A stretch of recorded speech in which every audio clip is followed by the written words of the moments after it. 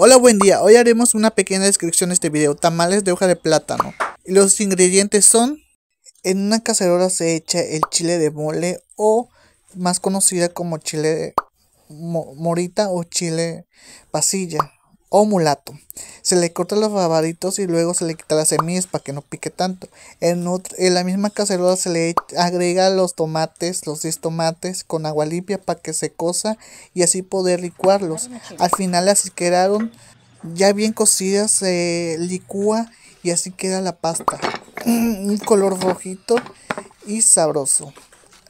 Para eso se tiene que agregarlo. Agregar en un recipiente donde estará la carne ya bien lavadita junto con esta mezcla. Estas son las hojas que se, se utilizarán para hacer los tamales.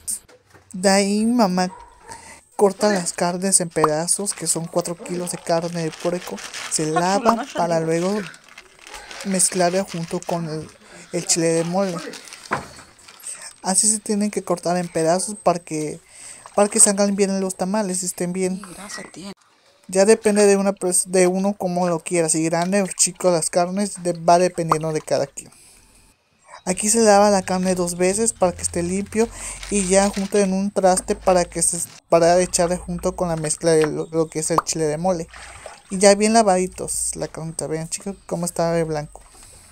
Se mezcla el chile de mole junto con la carne de puerco ya picada para luego eh, sazonarla con un poco de sal y echarle un poquito de agua para que esté un poquito espeso. Para esta mezcla de chile de mole se le agrega un poquito de agua para que esté bien listo y preparado la mezcla, junto con un poquito de sal, sazonado ya dependiendo de uno como le gusta, si un poquito de sabor, le echa un poquito de la misma mezcla del chile de mole, se le mezcla junto con la carne para luego sazonarlo con un poquito de sal. Ya se revuelve todo el chile de mole junto con la carne para luego sazonar con un poco de sal. Volvemos a probarlo de sal para saber si está bien. Y ya luego para eso le echamos un poquito de agua para que no esté tan espeso y se pueda se pueda agregar a la masa junto con para hacer los tamales y envolverlo porque luego se rompe o se tira el líquido. Así es el proceso, se tiene que mezclar y mezcla todos los el ingrediente de lo que es el mole junto con la carne para que no esté tan espeso.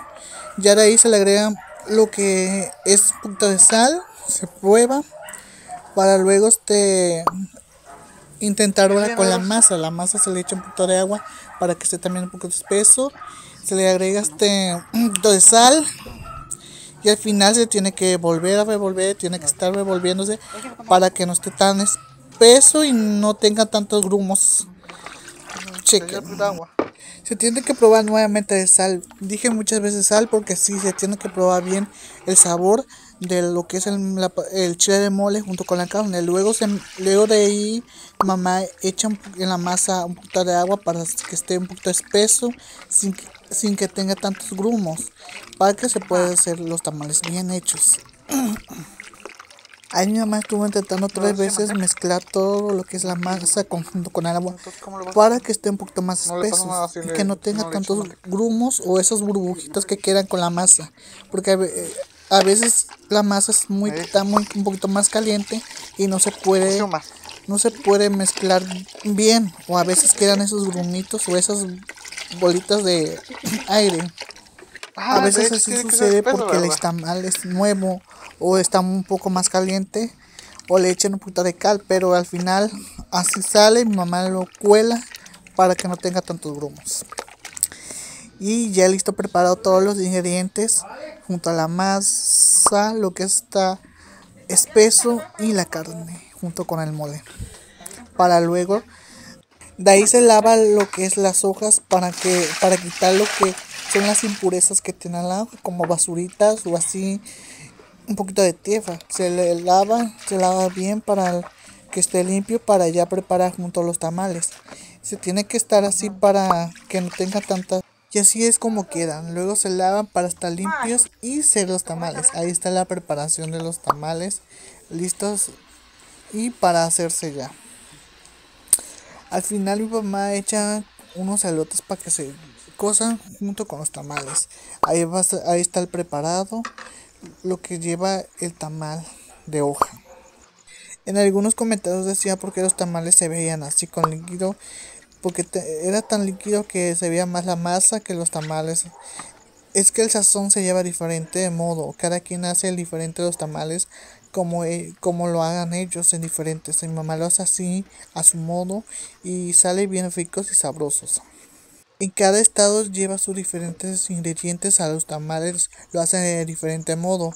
Acá lo hacemos así, con poquito líquida, espesa, para que sepa bien y rico el sabor, para que sepa más a los tamales de esa carne y el sabor que lleva.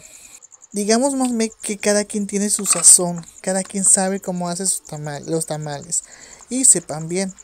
Mamá se hace siempre los tamales deliciosos y sabrosos. Chequen cómo los envuelve. Esa es, su forma de ah. envolver los tamales. Aquí les dejaré mis redes sociales como son Facebook y TikTok. Para que vean, para que pasen a ver mis videos. Así, así como estos. Ahí tengo videos cortos, pero son videos que he hecho. Así prepara mi mamá los tamales, los envuelve y hace el sazón que ella siempre hace en los tamales.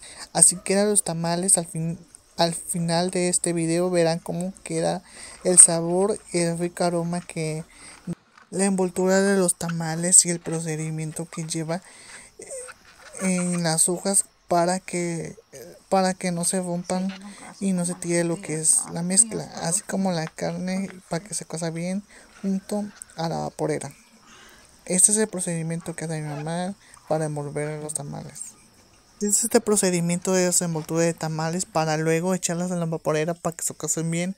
Junto con eso nosotros echamos unos elotes para que se cosan y no... En total salieron 45 tamales para poner a nuestra ofrenda para el Día de Muertos. Así salieron los tamales listos y calentitos.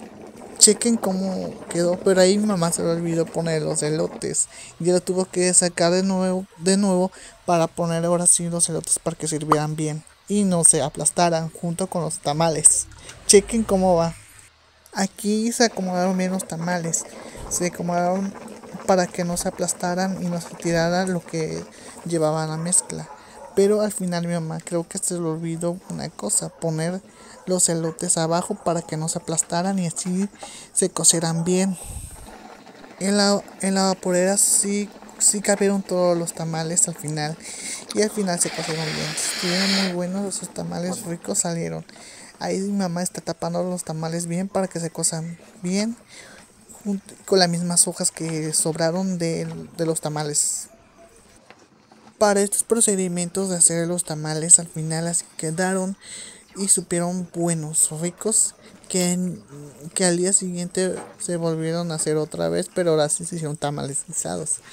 Hicieron dos tipos de tamales, tanto los tamales normales como tamales guisados, que es los tamales guisados son de hoja de maíz y llevan diferentes, diferentes ingredientes que son, ahí es la pasta de mole y la carne, diferente carne, puede ser de pollo al final sí quedaron los tamales ya terminados y puestos en la vaporera para que se cocieran. Casi tardó como dos horas con 30 minutos para cocerse. Y así quedó al final el proceso. Chequen cómo quedaron los tamales ya cocidos para comer y listo para probar. Así quedaron tan muy calientitos, recién calentaditos para ponernos en la mesa y comer. Al final sí quedó este video. Gracias por verlo este, suscríbete a este video y no se olvides compartir. Fíjense cómo quedó el tamal, rico, delicioso y muy calentito, acompañado con una coca, un vaso de refrescos para acompañar este delicioso tamal.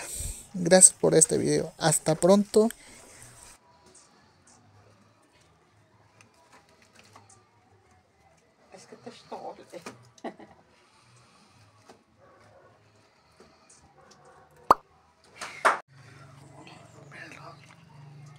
hecho una no?